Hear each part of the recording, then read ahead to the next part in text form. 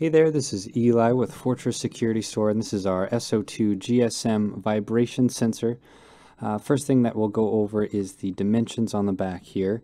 Um, width of the transmitter side, it's the picture on the top here, is 1.38 inches across. Height is 2.76 inches, and the depth is 0.67 inches.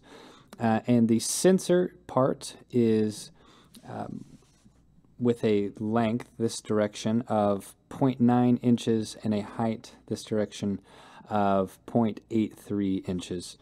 And the contents of this package are the vibration sensor, of course, some 3M sticky tape for installation, and a battery. Let's go ahead and open this up. Um, here is the tape.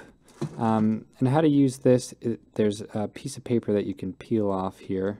Um, and then there's the adhesive underneath.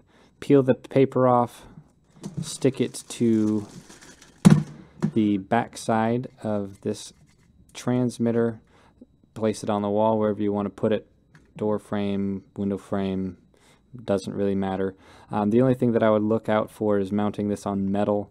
Um, transmission can get cut way down or it won't be able to send a signal at all if it's on metal. So that, that's, this, that's the um, same with any of the, our, our transmitters. Um, just avoid putting it on metal. If you do need to, you can always put a spacer in between those um, just to get it off the metal a little bit. What's also important to note is the direction to mount the transmitter side. If you mount it like this, um, the part that the, the, piece on the inside that vibrates back and forth is always going to be stuck in the down position, just always, and that will do one of two things.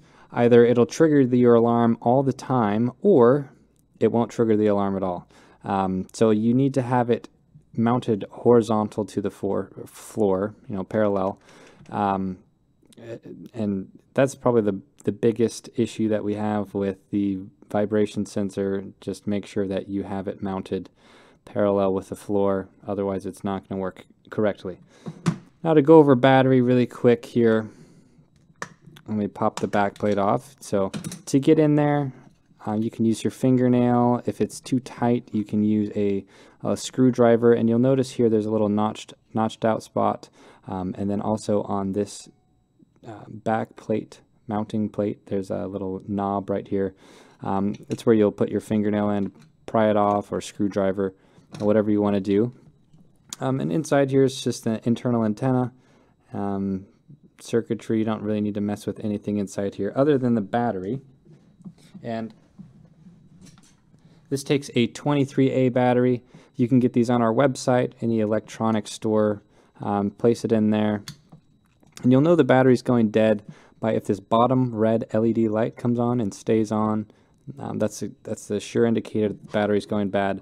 This the top LED light will illuminate every time that this sensor is triggered. And that's how you know that the signal is being sent. So if I shake it like this, just a little bit, it's it's pretty sensitive. So um, you know you can you can mount this piece directly on the door on the door frame or window, whatever the case may be, um, and it'll still pick it up. Um, as far as mounting range from the main panel, you can have this about 150 feet from the main panel, usually a safe bet through walls and everything. Um, un unobstructed usually is up to about 250 feet range, but 150 feet is usually safe parameters to stay within. If you do need more range than that, we have a signal repeater that will boost the signal to about 500 feet. Um, so if you're interested in one of those, you can always pick one of those up on our store as well. Uh, and the last thing that I forgot to mention was battery life of these batteries will last about one year on average. Um, so do check your check your motion or check your um, LED lights frequently. Make sure that the battery is still good. And uh, this has been the SO2 GSM vibration sensor.